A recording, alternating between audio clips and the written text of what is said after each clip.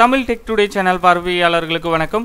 Corona virus தமிழகத்தில் நாளுக்கு நாள் அதிகரித்து வரும் நிலையில் பத்தாம் வகுப்பு தேர்வுகள் ரத்து செய்யப்பட்டு அனைவரும் தேர்ச்சி என்று தமிழக அரசு அறிவித்தது. இந்த நிலையில் கல்லூரி மாணவர்களின் இறுதி பருவ தேர்வை செப்டம்பர் மாதத்துக்குள் நடத்தி முடிக்க வேண்டும் என்று யுஜிசி ஜூலை ஆறாம் தேதி உத்தரவிட்டது.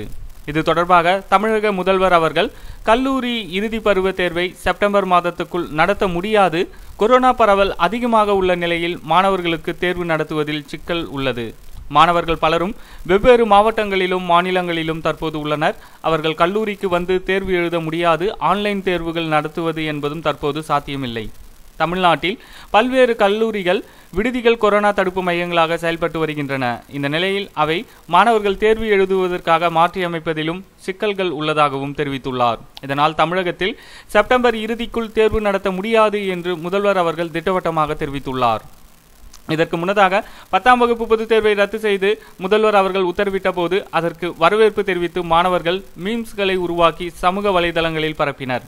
அப்பொழுது கல்லூரி பருவத் தேர்வுகளையும் ரத்து செய்ய வேண்டும் என்று மாணவர்கள் மீம்ஸ் மூலமாக கோரிக்கை வைத்தனர். இந்த நிலையில் முதல்வர் அவர்கள் இறுதி பருவத் தேர்வை நடத்த முடியாது என்று தெரிவித்துள்ளது. மாணவர்கள் மத்தியில் பெரும் மகிழ்ச்சியை ஏற்படுத்தியுள்ளது.